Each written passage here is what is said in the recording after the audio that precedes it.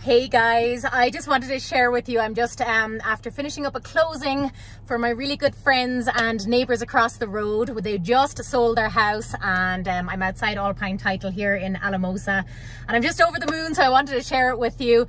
Um, they are moving to the island of Maui in Hawaii, excuse me. I'm a little smidge jealous. Um, I'm also going to miss them terribly as neighbours but there are beautiful, wonderful neighbours that are going to be moving in in their stead and um, they actually gifted us each one of these um ooh what are they called again? Leis? I think they're called.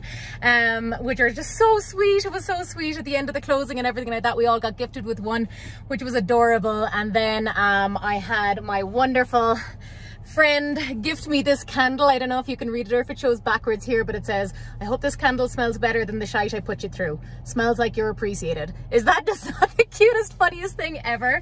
Oh my God, I'm so smitten. I am so glad that they closed and everything went well in the end because it was fraught with its um, ups and downs and bumps. It was definitely a roller coaster. We had some issues with appraisal. We had some issues with timing and bank holidays and um, a number of different things that um, they were troopers for though. They really held it together and they're little legends and I'm so proud of them.